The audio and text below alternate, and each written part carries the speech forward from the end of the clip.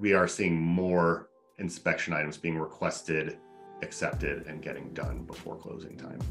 Whereas in the last couple of years, you know, the assumption is you're buying it as is on almost every property. But this year, buyers are definitely asking for things. So I am preparing both buyers and sellers, buyers that you are going to have an opportunity, very likely to ask for inspection items. And I'm letting sellers know this isn't last year. I wouldn't market this property as is because I think marketing a property as is, you're going to give up way more than if you agree to do a handful of inspection items, right? Don't don't give up $10,000 to save $500. It doesn't make any sense.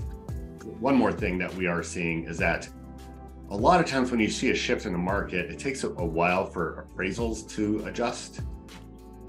I personally have not seen nor heard of major problems with appraisals.